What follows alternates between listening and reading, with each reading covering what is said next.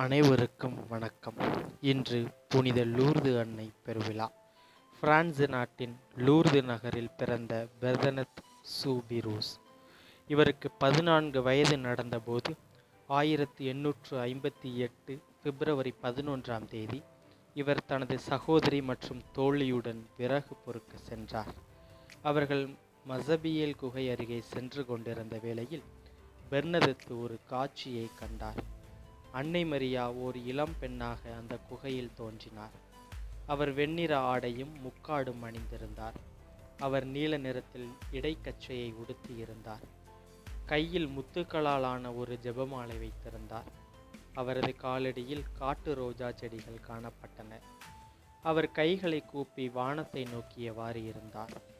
பெர்னதத்து தன்னுடன் வந்த இருவரிடமும் அதோ பாருங்கள் மிகவும் அழகான ஓர் இளம் பெண் என்று கூறினார். இவரது சகோதரிக்கும் தோழிக்கும் எதுவும் தெரியவில்லை. பெர்னதத்து அன்னையின் முதல் காட்சியை கண்டபோது மரியா அவரை மேலும் சில நாட்கள் அதே இடத்திற்கு வரச் சொன்னார். மரியாவின் வார்த்தைகளை ஏற்று பெர்னதத்தும் அங்கு சென்றார்.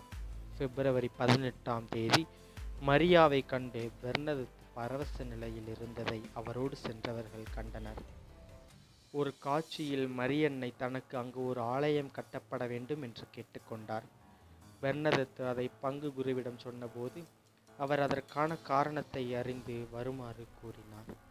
பிப்ரவரி இருபத்தி ஐந்தாம் தேதி காட்சியின் போது மரியாவின் கட்டளையை ஏற்று பெர்னதத்து மண்ணை தோண்டிய போது அந்த இடத்தில் நீரூற்று ஒன்று தோன்றியது. அது பின்பு ஓடையாக மாறி திருப்பயணிகளை கவர்ந்து இழுக்கும் அற்புத இடமாக இன்றும் திகழ்கிறது. மார்ச் இருபத்தி ஐந்தாம் தேதி அன்னை மரியா பெர்னதத்திடம் நானே அமல உற்பவம் என்று தன்னை பற்றி கூறினார்.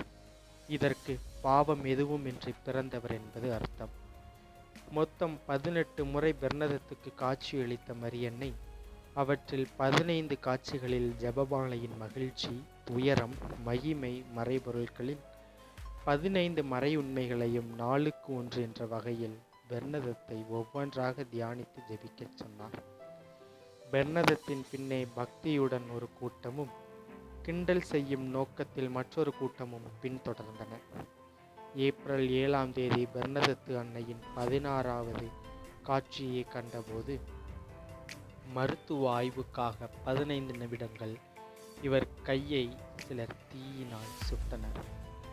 பெர்னதத் அதை உணரவும் இல்லை. இவர் கையில் தீக்காயமும் ஏற்படவில்லை. ஜூலை பதினாறாம் தேதி அன்னை மரியாவின் கடைசி காட்சியை கண்ட பெர்னதத். இதற்கு முன்பாக நான் அவரை இத்தகைய பேரழகோடு கண்டதே இல்லை என்று கூறினார். பெர்னதத்து மரியாவின் காட்சிகளை கண்ட நாட்களிலேயே லூர்து காட்சிகளின் உண்மைத்தன்மையை ஆய்வு செய்யும் பணியை திருச்சபை அதிகாரிகள் மேற்கொண்டு வந்தனர். மேலும் ஆயிரத்தி எண்ணூற்று ஐம்பத்தி எட்டு நவம்பர் பதினேழாம் தேதி காட்சிகளை பற்றி ஆராய விசாரணை குழு ஒன்று அமைக்கப்பட்டது.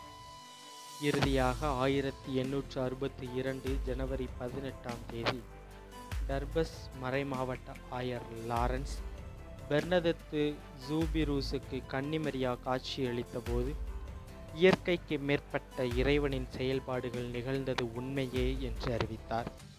திருத்தந்தை ஒன்பதாம் பயஸ் லூர்து அன்னையின் வணக்கத்திற்கு அனுமதி வழங்கினார்.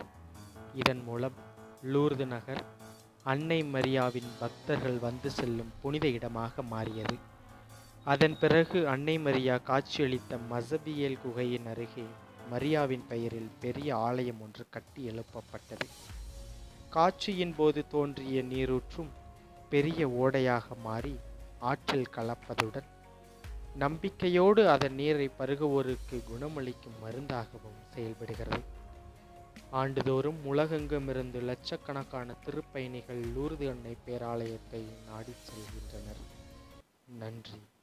அனைவருக்கும் புனித லூர்து அன்னையின் திருவிழா வாழ்த்துக்கள். நாமும் நம்மோடு இருப்பவர்களும் இறையன்பில் ஆளப்படவும் இறையரசி உலகில் பரவவும் நமக்கு தெரிந்தவர்களுக்கு இன்றைய புனிதர்கள் யூடியூப் சேனலை பகிர்ந்து கொள்வோம். இறையரசு இவ்வுலகில் பரவ நாமும் காரணமாக இருப்போம். நன்றி.